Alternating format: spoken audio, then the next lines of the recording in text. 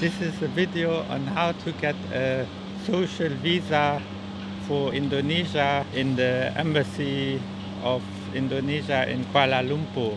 Before you come to Kuala Lumpur, you need to get some documents in advance, including a letter of sponsorship by an Indonesian citizen, which includes basic data like full name, address, identity number, and that letter needs to be stamped, which is uh, called materai, and that you can get in any photocopy shop in Indonesia.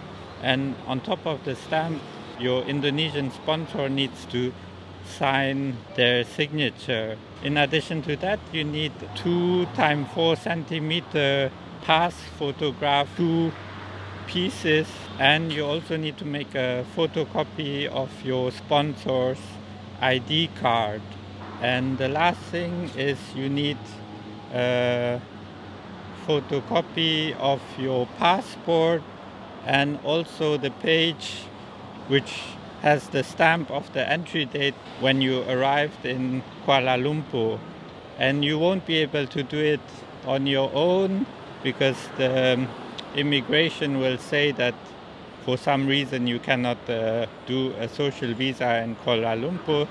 So instead you need to go to the photocopy shop which is just outside of the embassy on the left hand side and they will prepare your social visa within one day and it costs uh, either 250 US dollars or 900 Malaysian ringgit. Best is you go in the morning to the photocopy shop and then you give your passport, the photocopy of your passport and the stamp of entry and the letter of sponsorship and the photocopy of the ID card. And then in the afternoon when it's ready you can go back to pick it up actually, I'm going to pick it up uh, right now, so I hope the social visa is finished by now and I can get my passport back.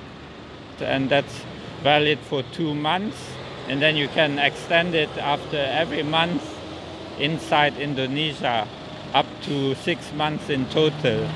But make sure when you arrive at the airport in Kuala Lumpur that you don't say that you are on a visa run, just say that you are on a holiday trip it's better if you stay two or three days and it's also good that if you have a printout of your hotel reservation in case they ask at the immigration at the airport.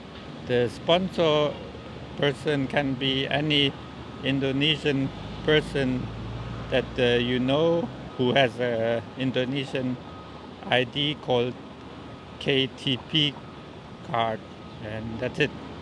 Hope you enjoyed this video. Uh, see you next time. I wonder if it